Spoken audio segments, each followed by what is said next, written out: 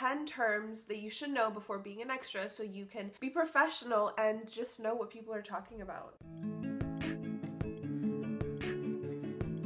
Hi, my name is Belgica and I'm an actress in the San Francisco Bay Area and I make acting related videos every Monday and Thursday like where to find auditions, how to film self-tape auditions and lately I've been doing a lot of extras uh, related videos. So today I wanted to tell you about 10 terms that you should know before being an extra so you can know what people are talking about, so you can be professional on set and act like you know what you're doing. The first word I want to talk about is uh, the union, SAG-AFTRA. So SAG is Screen Actors Guild, AFTRA is American Federation of Television and Radio Artists.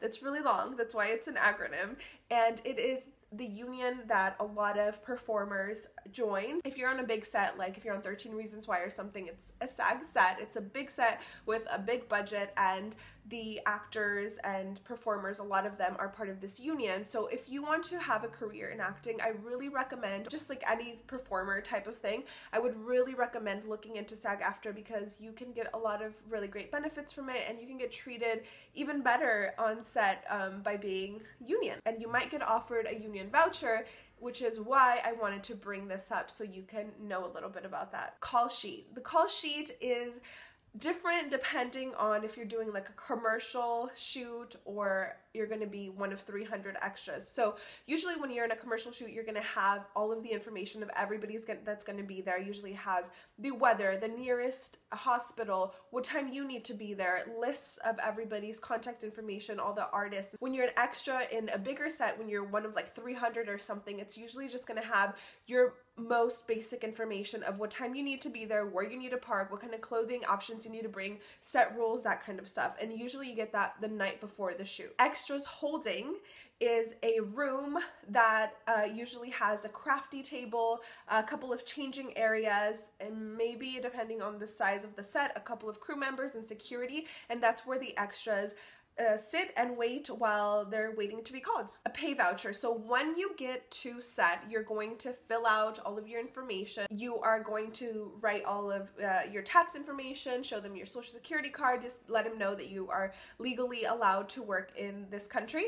And it's going to be a piece of paper that you can keep a copy of for your record. So in case you um, don't get paid adequately, you can tell them like, hey, I have my pay voucher. It's like your receipt. Um, you guys didn't pay me what I deserve to get paid. So you should definitely keep a copy of that. Craft Services, aka Crafty, it's the amazing people that feed us all day long. Like I mentioned in Extras Holding, there'll probably be a crafty table with something to drink and something to eat.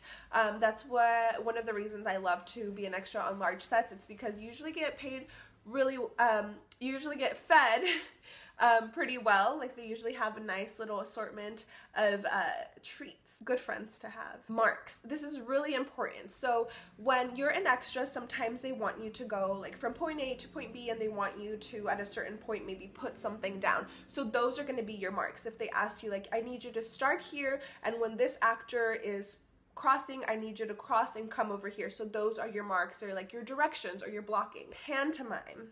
This is doing actions like clapping or high-fiving somebody or talking without actually making a single sound because they want you to be in the back and kind of decorate the back, right? But they don't necessarily want you to make any sound. So pantomime means do whatever they ask you to do, but don't make a single sound. Oh, and a quick tip for this, never point. It's really easy to just because you're not saying anything or making any noises you want to like talk and point at something. And it's so hard because it's such like a natural instinct. I remember the first time they said okay remember not to point. I was like why would we point? That's so dumb. But then as soon as we started doing it because i was pantomiming i started pointing and i was like oh shoot it's just like such a natural reaction to express yourself when you can't say anything. So just remember to not point. Rolling that means the camera is going and you should not make a single sound unless you're asked to. But rolling means the camera is going, it's recording, so should probably not talk. Background is more like action for background people. So usually on set when the director or assistant director calls action, it is for the main actors and when they yell background it's when the background people need to start going so usually how it'll go is that they start rolling the camera everybody's quiet, right? They're ready to shoot, and then they'll say background, and that's when like the background people will do their thing walk or whatever. And then on action they say it after background is when the main actors are going to go and do their thing. So unless you're told otherwise go on background if you are a background. And the last one number 10 is first team second team. First team are the actual actors um, and second team are the stand-ins. If you don't know what stand-in, stand-ins are, then I can let you guys know about that, but it's basically the people that stand there instead of the actual actors while everybody else puts the next scene together. All right, those are all the terms, some basic terms that you should know uh, so you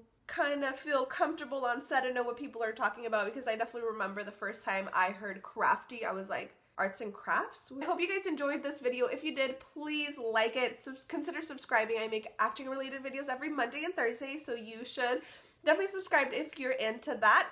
And uh, next you can watch another extras video because I have a bunch of them. And uh, I feature somebody's channel at the end of every video. This week is Kathy. She reads a bunch of books, watches a bunch of shows, and then lets you know about it. If you would like to be featured in my next video, make sure you're subscribed, comment, and like this video.